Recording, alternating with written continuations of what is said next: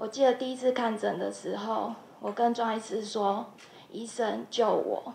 我自己知道，说我这条路非走不可，因为我还有一个一岁多的小孩。我真的很想用我的双手好好抱抱他，然后帮他泡奶奶，帮他换换尿布，尽一点当妈妈的责任。八仙晨报至今两周年了，那一夜改变了近五百人的生命与他们的家庭。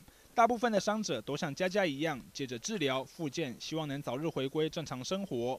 但这一切对他们来说都还没有结束。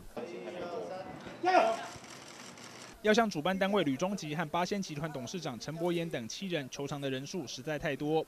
消基会接受受害者的委托，根据民法、公司法、消保法提起团体诉讼。消基会去年已接受九十八位受害者委托，提出二十六亿元损害赔偿。今年在接受三百三十七位受害者委托，再立一案，求偿新台币近七十三亿，两次团送总计求偿近百亿元。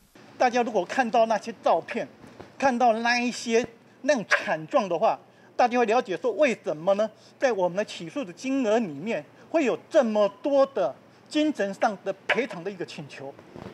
我想这个大家了解一下这个烫伤。这是一辈子的，而且是无法回复修复的这样一个伤痕。若官司胜诉，平均下来每个人获赔约两千万，但官司一打好几年，之前的善款剩五亿元，后续的复健又很花钱，因此在那之前还是需要政府部门协助。我们在善款的一个评估上，我们会及时的来发送给他们一些经济的资源。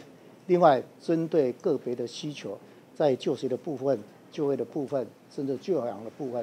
还有家庭困顿的部分，如何来协助，我们都会全力以赴。